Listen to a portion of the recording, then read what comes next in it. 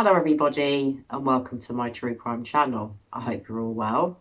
The latest news in the case of missing Summer Wells is that Mary, who is Don Wells' stepsister, is going on the Dr. Phil show. So I've been very interested to learn that Mary has been asked to go on Dr. Phil. She said that she's currently awaiting a call from Dr. Phil's team to arrange a date and that potentially Jeannie might also be going on the show.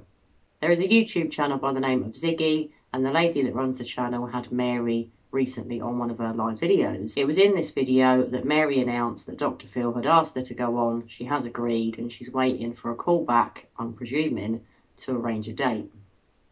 I've been really interested to hear this. It's going to be so interesting to watch this. If not just Don and Candus are going on, if other members of Don's family are going on, this is going to be such an interesting watch. Now, all I can think is that Don Wells must be fuming. I doubt he's very happy that Mary's going to be going on the show. I'm really interested to know that Mary is going to go on the show. I really like Mary. She seems like a very kind woman. She seems very sincere. I've never detected deception from Mary. I've always felt that she tells the truth. The same goes for Jeannie and pretty much every other member of their family, just not Don and Candus. It's them people that I find difficult to believe. It's them people that I constantly detect deception from. So I'm going to be interested to see what Mary has to say on the show, if anything else comes out that we've not heard before, and if Don and Candus are actually going to show their faces, are they going to tell the truth? As Mary has confirmed she's appearing on Dr. Phil, that tells me that Don and Candus must be as well. Perhaps they're doing two separate shows. I'm not sure that they're going to have them all on at the same time, especially because of the bad blood that there is between the family members, which there is obviously extremely good reason for, that we're all aware of, and I'm not going to go into the details of now. But to me, this is extremely interesting. I'm wondering if any other family members have been asked to go on, and could Candus's mum, Grandis, appear on the show too? I think we can clearly assume that the boys, Summers brothers, will not be appearing. They're minors. I very much doubt that Dr. Phil would have them on the show, but I wouldn't be surprised if Mary isn't the only family member of Don and Candus that appears. I really wouldn't be surprised if other people that are related to Don and Candus have also been asked to appear.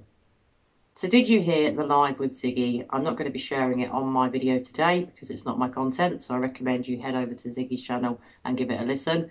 A lot of the things that Mary said were very interesting. There is a lot more that was said than I'd like to mention now. I'm going to be doing some other videos about what I've learned. There was a lot of interesting things, so I recommend you go and listen if you haven't done already.